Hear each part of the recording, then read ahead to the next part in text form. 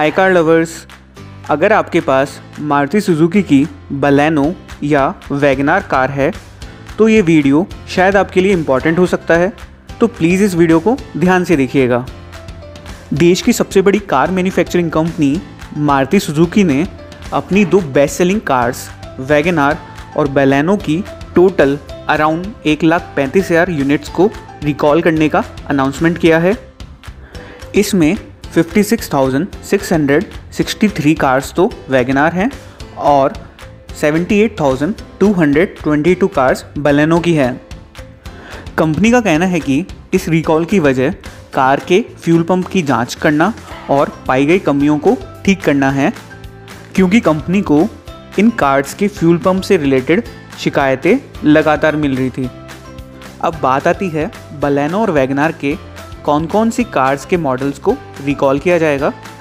इस पर मारुति सुजुकी का कहना है कि इस रिकॉल में उन वैगनार कार्स को इंक्लूड किया जाएगा, जो कि 15 नवंबर 2018 से 15 अक्टूबर 2019 के बीच में मैन्युफैक्चर हुई है और साथ ही जिनकी इंजन कैपेसिटी वन लीटर है।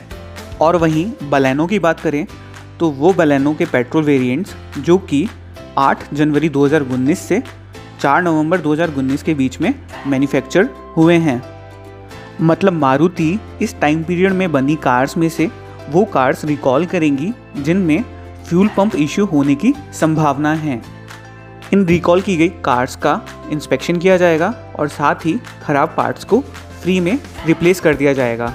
इसके लिए दोस्तों, मारुति के डीलर्स आने वाले दिनों में इन कार्स के ओनर्स से कांटेक्ट करेंगे।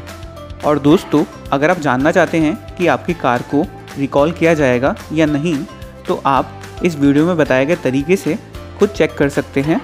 आपको बस ये सिंपल स्टेप्स फॉलो करने होंगे। इसके लिए सबसे पहले आपको मारुति की साइट पर जाना है। इसकी वेबसाइट का लिंक हमने हमारे वीडियो के डिस्क्रिप्शन में मेंशन कर दिया है।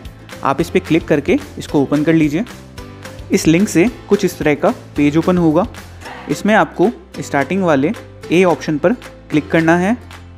इसके बाद ये इंफॉर्मेशन वाला पेज ओपन होगा। इसमें आपको सबसे नीचे आने वाला ऑप्शन क्लिक हेयर को सेलेक्ट करना है। और फाइनली आपको इस बॉक्स में अपनी कार का चेसिस नंबर फिल करना है। ये नंबर स्टार्ट होगा एम ए थ्री या एम बी एच से। और उसके बाद 14 डिजिट का अल्फ़ा न्यूमेरिक नंबर होगा। ये कार का चेसिस नंबर आपको कार के डॉक्यूमेंट जैसे इनवॉइस या फिर आरसी पे मिल जाएगा। और लास्ट में आपको इस चेक बॉक्स पे क्लिक कर देना है। इसके बाद आपको ये मैसेज शो होगा कि आपकी कार को इंस्पेक्शन करने की रिक्वायरमेंट है या नहीं मतलब आपकी कार को रिकॉल किया जाएगा या नहीं। जैसे कि हम स्क्रीन में देख सकते हैं, इस चैसिस नंबर वाली कार को इंस्पेक्शन की रिक्वायरमेंट नहीं है। अगर इस मैसेज में ये डिस्प्ले होता है कि आपकी कार को इंस्पेक्शन की रिक्वायरमेंट है तो आप खुद डीलर को या सर्विस सेंटर को कॉल करके अपनी कार का इंस्पेक्शन करवा सकते हैं। तो कार लवर्स कैसा लगा आपको ये शॉर्ट अपडेट वीडियो प्लीज़ हमारे इस चैनल को सब्सक्राइब करें। इस वीडियो को आपका समय देने के लिए धन्यवाद।